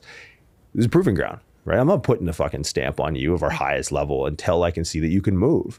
And I know some guys who come in and the academic side and the execution side is like a little like you know we could tight we tighten some stuff up. You know mm-hmm. we can get, but communication forget about it. Lights out. And then those guys are the ones that win, right? So, and well, we had this one guy come in, X and O solid, sharp, real smart, dialed on paper, and communicate pretty well. And uh, we we had a lineman. Um, was it Rob Jones? It was Rob Jones, Miami, uh, Miami Dolphins. It's the nicest guy in the world, but like he's he's a lineman in the NFL. Right, like, yeah. He's fucking damn good. Just re-signed. And like one of the things, you know, we kind of like, all right, here's the program. We go through it. You know, anyone have any points on execution? All right, you, you, your rack, you're going to be with this coach. We're going to have these four guys, and we have spreadsheets. You know, we had bigs. You know, just, just who was on that rack? Rob was there. He had another guy from Miami. Fucking blanking on names. Um, anyways, four, yeah, like you're probably looking at a ton plus four dudes on a rack, and you know we got a guy from the northeast end of New York, like lives by the village, and he's like, so we're going through incline dumbbell press, and I don't know what was said, and like Rob kind of stands up after, and he kind of like goes with one of our coaches and comes over, and he's like. Yo, you gotta check your boy, and I'm like, oh fuck, like, this is like, 'cause I gotta keep. There's those those guys got to be taken care of, right? And I was like, what the fuck happened? And he's like, he comes over after and Rob, very like cerebral. Like Rob is dialed. Like he's come to work. He's a professional athlete. And he comes over, but he's like really lighthearted. He's singing. He's putting on. He's putting on Chris Stapleton. He's putting on. You know, he'll put on some, some drill stuff. And, but like, don't confuse kindness with weakness. Like he's there to fucking work. And I guess the the coach, in middle of the set, cued him to be more deliberate and like that was like a trigger word for him. Yeah. And he oh. came, he come marching over. I, I mean, he's he's he's leaning up. He's probably like three fifteen, but like six to three, six four, three fifteen, solid. And he comes over, you check your boy, and I was like, oh, he's gonna kill someone. What the yeah, yeah. And I'm like, what happened? Because I don't know, dude. I just told him to be more deliberate. And like one of the things we talk about is like, yo, keep the language real simple, right? Deliberate, and it's it's for no other means of just like the cues. They, if they're elaborate, it means they're doing the wrong exercise. Yeah. And you got to pick a better movement. It's like we're just trying to hype, right? Like you know, faster, whatever, whatever, slower, but like deliberate. It's too much. Well, Rob shows up on Friday with a shirt that says "Deliberate AF." Get the Wow. fuck out of here. That's, I guess, like the the line coach Yeah. uh, he'd be O line. The line coach drills that into him. So you ever see bigs on like doing the skill work, hitting Yeah. pad, like their handwork, their footwork, wow. and like you know they they might just be touching a pad, but it's deliberate. Right, so we I, had no idea, right? Like I didn't, I don't know what the the line coach down in Miami Right. is like. You know, his thing is, Yeah, the mantra. and mantra. So he shows up, and it was it was the last day of training for the week, and he shows up with this thing. I was like, oh, this is perfect. This is it's poetic, and it's like, Yeah. And but that's the stuff that we learn, right? And that's that's that's the trade. That's the skill, right? Like one of my favorite quotes is, "In theory, there's no difference in practice and theory, but in practice there is." Right? Like I think a lot about the the Australian breakdancer with the PhD, mm-hmm. and it's like that's how a lot of strength coaches move in the weight room. Right? they just look like kind of spastic worms with a diploma. It's like, all right, dog. Like this is this is the proving ground of all proving grounds. Like I can't think of maybe the All Blacks rugby team would be a slightly more intimidating group, but I think on the whole, like 30, 40 off-season NFL kids or 30, you know, hungry NCAA going to the draft kids, it's like you know, the old Tyson, like everyone's got a plan until you get punched in the face. And it's like, you're not far off in this room from someone fucking chucking hands. And Yep. You know, so that's, that's what I'm excited about. It's just like, that's my whole focus. If it's not that, it's a distraction and I, you know, it's, it's, it's, it's just noise. So that's, that's my whole life. Well, that's a good thing to be excited about. That sounds fucking awesome. Yeah, it's fun. Um, all right, next segment. This is brought to you by Squatwedgiez. Use code CoachEmUp15 for 15% off. Um, okay, so three things that someone can start taking action on, mm-hmm. three action items to get to where you're at today. I mean, the only thing I can say are the three things that were that I deem important that move the needle for me. I don't like, I, I, so I got to frame it that way because I don't like giving proclamations. And if anything I've said, and I hope up till this point I've done a half decent job at checking myself and being like, this is just what I did. Yeah. Right. For me, travel. Travel. Hmm. Everyone's like, oh, you know, you, you gotta um, read books, which like, yeah, sure, yeah, you gotta, whatever. But nothing will give you perspective. Like we were talking the other day, we were talking about we were talking about traveling because we weren't talking about training. Yeah. And and we were sitting in Terry Black's eating this most absurd, op like this disgustingly amazing meal.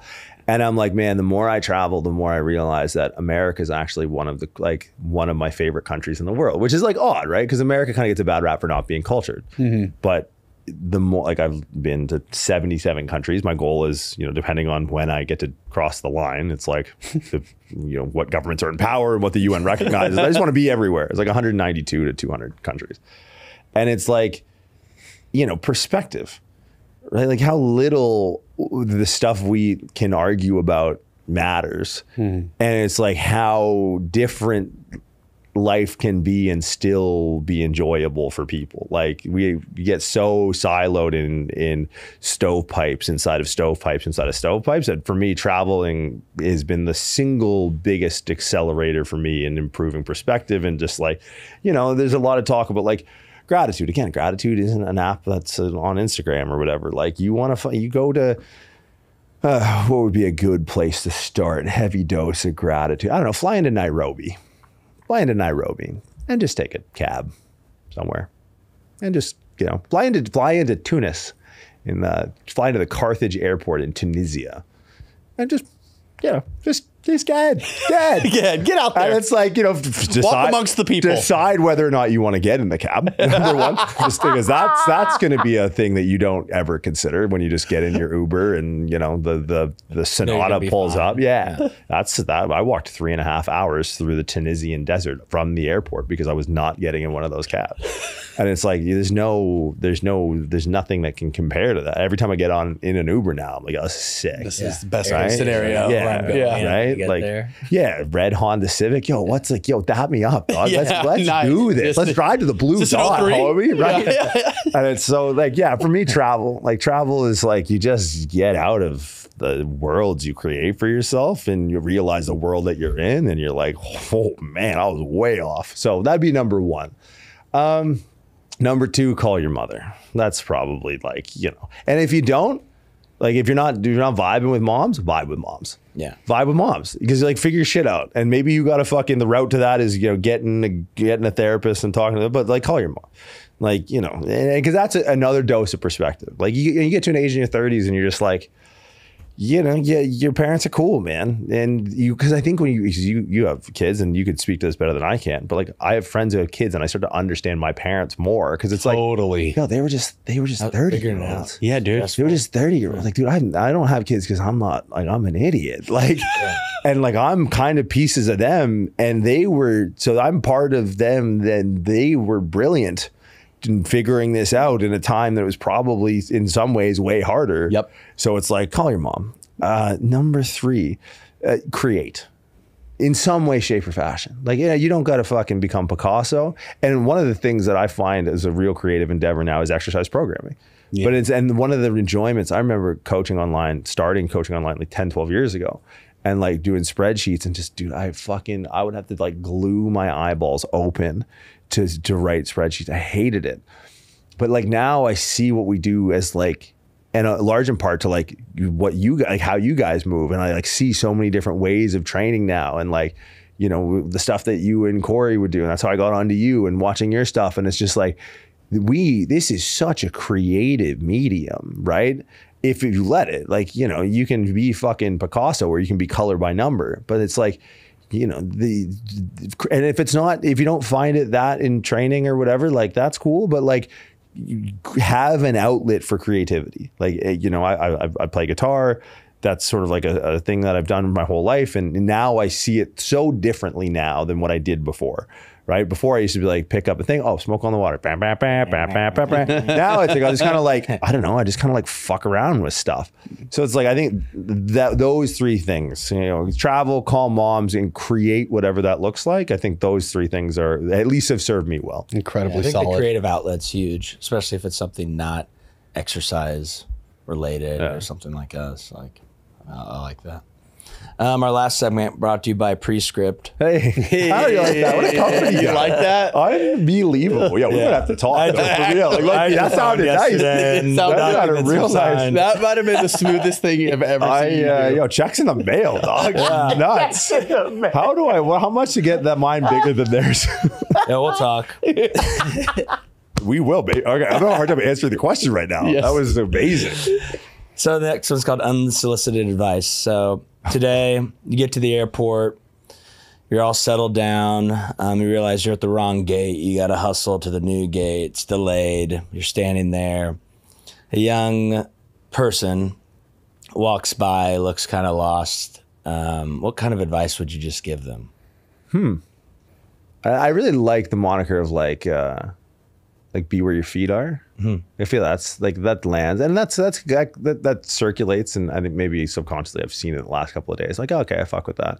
But like, given the context of like someone looks lost and they're young, it's like you probably because they're making up a story that's not actually like people. What is the old uh, saying? People suffer more in their head than they do in reality. something like totally. yeah. So it's like I find that every now and then like very anchoring of like, huh, okay. Like I have. um I have the, the words here and now tattooed on my thumbs, like right right here, and like that's sort of me. Like uh, in one of my one of my therapists, actually, one of them. Shout out to all of them. Shout out to therapists all over the Yeah, world. therapists and moms. Mom's the OG therapist. Hey, amen. And it says here and now. And then when I was like in the peak, oh not peak, fuck, I still feel like I'm in the peak. When I I was traveling a lot last couple of years, and I had this this guy that I used to catch up with every week, and you know I'm like.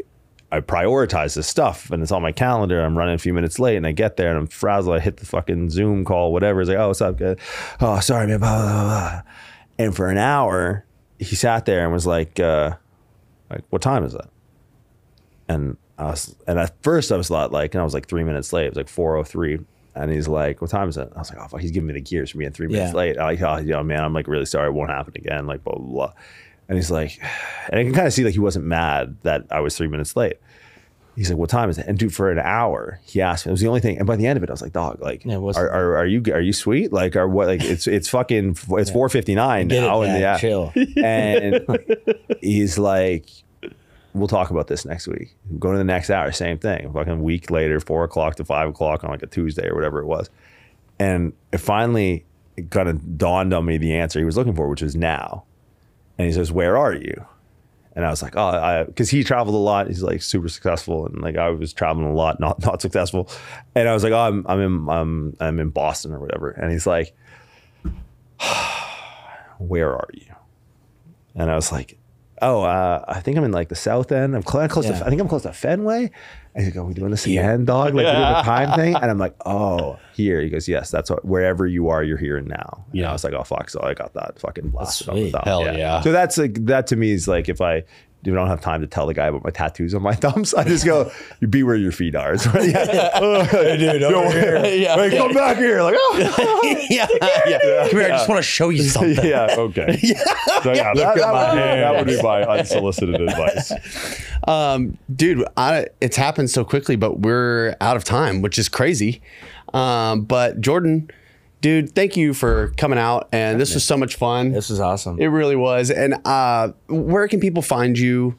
Give us the whole deal. Yeah, I mean, my Instagram is kind of like the hub of it, I guess. For me, it's uh, at the underscore muscle underscore doc. Uh, Pre-Script is www.pre-script.com. Instagram is pre underscore script because you can't put a dash in a thing, apparently. Now you know.